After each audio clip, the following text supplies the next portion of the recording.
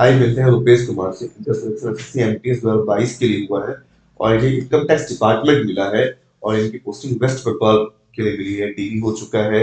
और मेरी तरफ़ से शुभकामनाएँ हैं इन्हें। रुपेश आपको बहुत बहुत शुभकामनाएँ एसएससी में सिलेक्शन होने के बाद।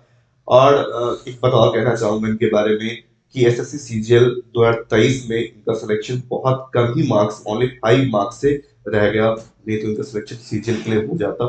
क्योंकि ये मेनली एस्पिरेंट रहे हैं एस सीजीएल के, लेकिन मैं बहुत ज़्यादा श्योर हूँ इनको लेकर के रुपेश भगत को लेकर कि, इनका सिलेक्शन सीजीएल के लिए ज़रूर होगा, और ये वास्तव में सीजीएल के लिए ही बने हैं। अब एस एस सी क्लियर हुआ है, इन्हें 75 में 67 मार्क्स मिले हैं इंग्लिश में।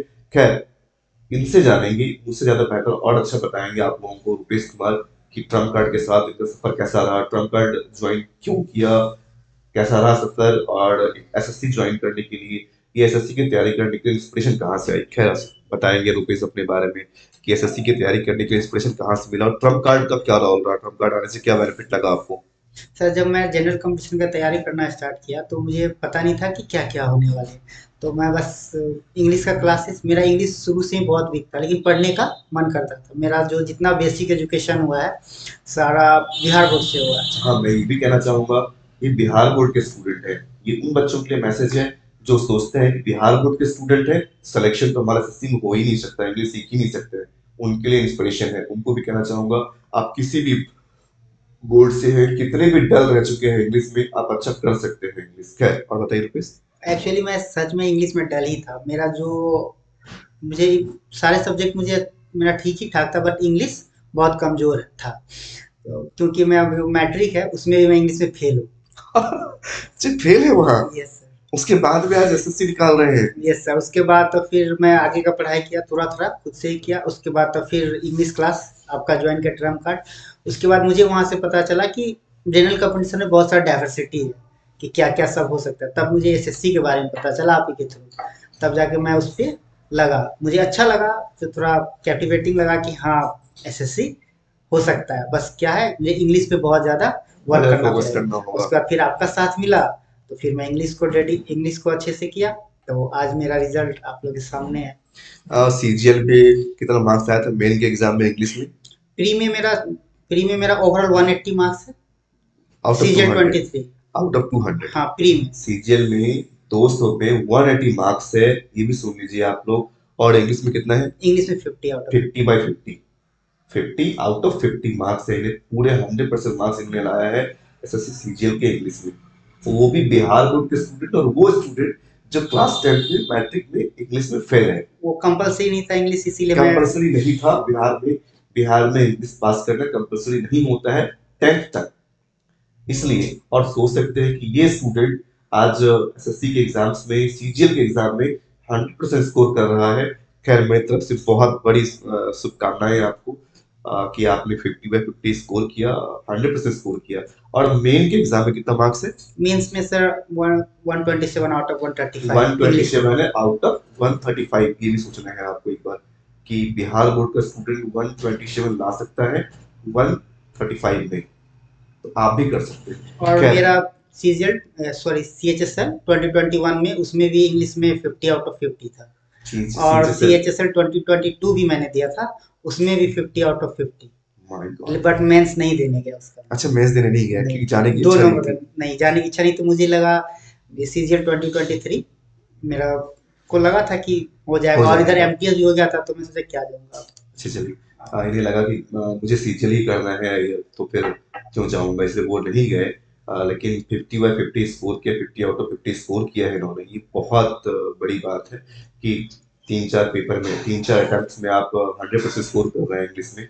वो भी कटिहार में रहकर कई बार स्टूडेंट्स को लगता है कई बार कई सारे पेरेंट्स भी ऐसा फील करते हैं कि कटिहार में बहुत अच्छी तैयारी नहीं हो सकती है इंग्लिश की, या कटिहार में सीजीएल की तैयारी नहीं हो सकती है। उनके लिए रुपेश एक मुझे कहता रोल मॉडल बनकर आए होंगे। आप लोगों के लिए है कि एसएससी की इंग्लिश हो या कोई भी इंग्लिश सीख सकते हैं। अच्छा कभी ऐसा लगा कि इंग्लिश नहीं सीखा जा सकता या डिफ़िकल्ट है? नहीं। जब तक आपका क्लास ज्वाइन नहीं किया तब तक मुझे लगता था English is not my cup of tea देखिए ट्वेल्थ तक या उसके बाद तक फील कर रहे थे कि it's not my cup of tea yes sir नहीं कि इंग्लिश सीखना मेरे बस की बात नहीं है। लेकिन ट्रंप कार्ड में ऐसा क्या खास लगा जो आपको इंस्पायर कर किया इसने आपको इंग्लिश सीखने के लिए? मैं जब वहाँ गया तो उसके बाद मुझे समझ में आने लगा कि हाँ इंग्लिश क्वाइट इजी है। आपका पढ़ाने का तरीका से सब कुछ से और जो सबसे वजह जो अपना पढ़ाई का जो टेक्निक था समझ में आना चाहिए। ठीक है ना टफ ना हार्ड ना इजी एकदम मॉडरेट जो एक स्टूडेंट को चाहिए कि हाँ अगर हम यहाँ पढ़ें तो मुझे होना चाहिए कि हाँ मेरे मेरे को समझ में आ रहा है। हम्म। ठीक है और ना वो भारी लगे मतलब पढ़ाने का तरीका से तब मुझे लगा कि हाँ ये हम कर सकते हैं। उसका बाद अब सर के साथ सर का साथ देना है बस हमको। हाँ। सर तो मेरे साथ ही है अब हम सर का साथ दें तो हो जाएगा। उसका आपका जो भी मटेरियल वर्ड्स वगैरह मैंने रेगुलर उसको पढ़ा। रेगुलर तैयारी किया सब कुछ किया तब फिर जाके अच्छा तैयारी के क्रम में कभी ऐसा लगा कि नहीं एसएससी नहीं हो पा रहा है अब छोड़ देना चाहिए कहीं और ट्राई करना चाहिए? नहीं ऐसा तो फील नहीं हुआ। हाँ मुझे मल्टीपल टाइम्स मुझे फेल्योर का फेस करना पड़ा। और अभी भी 2023 में थोड़ी सी मेरी गलती कारण मैं आज थोड़ी सी फेल हो गया। हाँ। नहीं तो लेकिन दो हज़ार चौबीस में सिलेक्शन होगा आपका सीजीएल में और बहुत अच्छे रैंक के लिए होगा। इस बात को लेकर मैं श्योर हूँ आपको शुभकामनाएँ भी हैं बेस्ट विशेष है मेरी तरफ़ से। कि सिलेक्शन आपका होगा और सीजीएल के लिए ही बने हैं आप और बहुत ही अच्छे पोस्ट के लिए बने हैं। मुझे उम्मीद है कि M E A ministry of external affairs ज़रूर मिलेगा आपको। मैंने आपकी मेहनत को देखा है, इतना अच्छा स्कोर कर रहे हैं आप तो सिलेक्शन ज़रूर होगा आपका। यस सर और सीज़न में मैं इसीलिए भी डिमोटिवेट नहीं हुआ, इससे कुछ और माइंड भी नहीं आया, क्योंकि आप हमको हमेशा मोटिवेट करते रहे। मतलब क्लासरूम हो, फिर मैं जब अलग से भी पढ़ने लगा, सारे कोर्स कंप्लीट हुआ तो आपसे टच में ही रहा। व्हाट्सएप के थ्रू सब तो आप हमेशा मोटिवेट करते रहे नहीं नहीं करते रहिए छोड़ना नहीं है तो हाँ, मोटिवेटेड देखिए मैंने हमेशा बस फील किया मैंने आपके या दूसरे स्टूडेंट जो अच्छे स्टूडेंट्स हैं मैंने उसके परफॉर्मेंस को देखकर मैंने उसकी मेहनत को देखकर ये फील किया कि ये स्टूडेंट कर सकता है। इसलिए मैं भी कांटेक्ट में रहने का प्रयास करता हूँ कि अगर आप सामने से आ रहे हैं तो मैं संपर्क में रहूँगा। अब कई बार कई स्टूडेंट्स होते हैं कि नहीं सिलेबस कंप्लीट हो गया अब घर चले जाना है टीचर से पढ़ा मैंने अब कॉन्टेक्ट नहीं रखना है। कई बार ऐसा होता है बहुत सारे बच्चे बताते भी नहीं है एग्ज़ाम पास होने के बाद। भले ही मैंने क्लास में उनके पीछे बहुत मेहनत किया हो बताते भी नहीं। बट अगर आप कांटेक्ट में रहते हैं तो इनका फ़ायदा आपको मिलता है। मुझे क्या फ़ायदा? मुझे कोई ऐसा लगा ना मुझे कोई बहुत बड़ा फ़ायदा हो जाएगा। अगर आप कांटेक्ट में हैं तो मैं आपको मोटिवेट करता रहूँगा या कुछ प्रॉब्लम्स है कोई क्वेश्चन पूछना है तो मैं बताता रहूँगा। मैं हमेशा तत्पर रहा हूँ कि कभी कोई क्वेश्चन भेज दिया इन्होंने व्हाट्सएप पर ही भेज दिया। अगर मैं फ्री रहूँगा तो मैं उत्तर ज़रूर दूँगा। ऐसा आपका हमेशा रिप्लाई आया। है जब भी मैं कभी फंसा हूँ इंग्लिश में कुछ पूछा हूँ तो रिप्लाई तुरंत आया है। रिप्लाई आया है? यस सर क्लास में कभी ऐसा लगा कि नहीं, संदीप कभी ने रिप्लाई नहीं दिया? नहीं अच्छा ठीक है बाद में पूछ लेना इसको। अच्छा ये आज नहीं जान रहा मैं जब पूछा इंस्टेंटली मुझे जवाब मिला है उस वही चीज़ तो मुझे मैं मोटिवेट करता रहा। अच्छा ये चीज़ें मोटिवेट करती sir. नहीं अच्छा कर सकते हैं। यस सर ये बातें मैं खुद कह रहा हूँ कि मैंने चीज़ों को आसान किया है क्योंकि मैं फील करता हूँ कि बिहार बोर्ड के स्टूडेंट के लिए बहुत बड़ा डर होता है मन में। कि मैं बड़े एग्ज़ाम की तैयारी नहीं कर सकता हूँ सीजीएल नहीं कर सकता हूँ एसएससी नहीं कर सकता हूँ, या बैंक की तैयारी नहीं कर सकता तो मैं इंग्लिश में वीक हूँ। लेकिन मुझे लगता है इंग्लिश सीखना आसान है बिहार बोर्ड के स्टूडेंट होने के बाद मैंने इतना मेहनत किया और सिर्फ़ इसलिए किया मेहनत कि मुझे लगा कि बिहार बोर्ड के स्टूडेंट्स को इंग्लिश में बहुत अच्छा कराना है, मुझे बहुत अच्छा बनाना है। उसे नए नए तरीके डेवलप कर किया मैंने और ये चीज़ें स्टूडेंट्स के लिए बेनिफिशियल रही। खैर एक और चीज़ पूछना चाहूँगा रूपेश से कि आने वाले स्टूडेंट्स को पूछ रहा हूँ मैं, क्या कहना चाहेंगे? कई बार ऐसे हो ऐसा होता है कि बच्चे सोचते हैं, नहीं, एक दो बार में क्लियर नहीं हो रहा चलो छोड़ देते कुछ और ट्राई कर लेते हैं।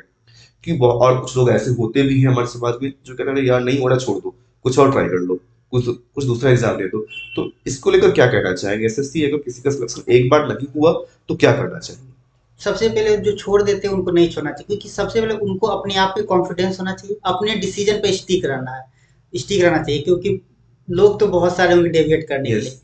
डेविड तो लोग करते ही हाँ, रहेंगे आपको अपने आप पे भरोसा होना चाहिए। और सबसे पहला ज़रूरी वही चीज़ मैं है रुपेश शायद आप भी एग्री करेंगे इस बात को कि एसएससी में अगर आप लगे हुए हैं अपने अपने कहते हैं ना अपने गोल पे स्टिक है अगर आप तो मुझे लगता है कि आज नहीं तो कल आपका सिलेक्शन होना होना है। है। बस आप उसके साथ हाँ बने रहिए। और ऑनेस्टली मेहनत कीजिए आप। अगर आप मेहनत कर रहे हैं ऑनेस्टली आप ज़्यादा समय फालतू की में बर्बाद नहीं कर रहे हैं तो सिलेक्शन तो आज नहीं तो कल होना है। यस सर क्या? जी सर सिलेक्शन आज नहीं तो कल होना है इसमें कोई तुहमत नहीं है। और एसएससी की तैयारी करने के लिए कितना समय दिया आपने? अ, मतलब प्रतिदिन क्या समय बिताया पढ़ाई के पीछे? एट आवर्स के आसपास। अच्छा आठ कभी दस घंटे ही पढ़ लिया? हाँ कभी कभी मतलब कि अगर एवरेज निकाले तो एट टू नाइन आवर्स तो कभी कभी तो मैं पंद्रह सोलह घंटा भी पढ़ लिया अच्छा, करता था। ये बहुत बढ़िया चीज़ है। कभी पंद्रह घंटा ही पढ़ लिया कभी आठ घंटा ही पढ़ लिया।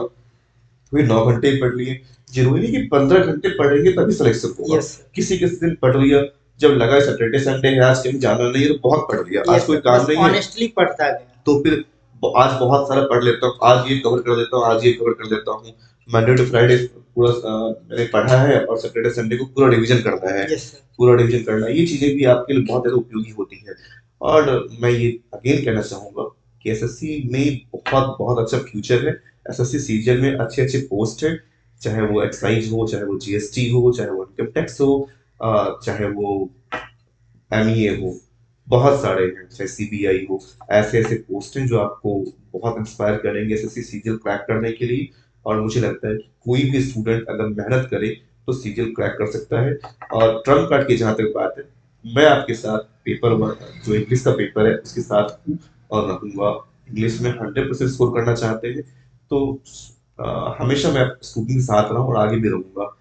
ऐसा नहीं है कि मैं कह रहा हूँ सामने साक्षी बैठे हुए हैं कि एसएससी में हंड्रेड परसेंट स्कोर करके आ रहा है इंग्लिश में। और मुझे लगता है आने वाले स्टूडेंट्स भी कर सकते हैं।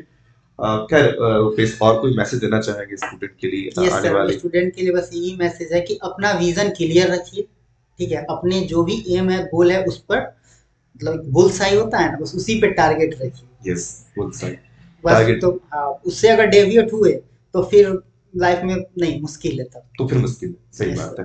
अ, अगर आपको कुछ अच्छा करना है तो अपने जो एम है उससे अगर आप हट रहे हैं तो फिर आप अपने लक्ष्य को नहीं पा पाएँगे तो तय है इसमें कोई कोई दो मत नहीं है इसमें।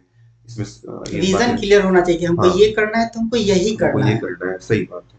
तो ही हो पाएगा नहीं तो फिर एक हाँ। होता है ना दो नाव पे सफ़र नहीं करना चाहिए। हाँ ये बात तो सही है दो नाव पे सफ़र कभी नहीं करना चाहिए। एसएससी के तहत खास करके ये चीज़ें। बहुत ज़्यादा अप्लाई होती है कि आप दो तरह से दो तरह की सेक्टर में मत जाइए। SSC means only SSC yes sir तभी आप अच्छा कर पाएँगे ये तो तय है। खैर आज के लिए इतना ही। लेकिन एक बात और एक बात और कहना चाहेंगे सर हम. अपनी तरफ़ से कि अगर आप एसएससी का तैयारी करना चाहते हैं तो एक बार ट्रंप कार्ड आइए देखिए पढ़ाने का क्या क्योंकि मैंने जो फील किया हूँ मैं वही ऑनेस्टली बोल रहा हूँ।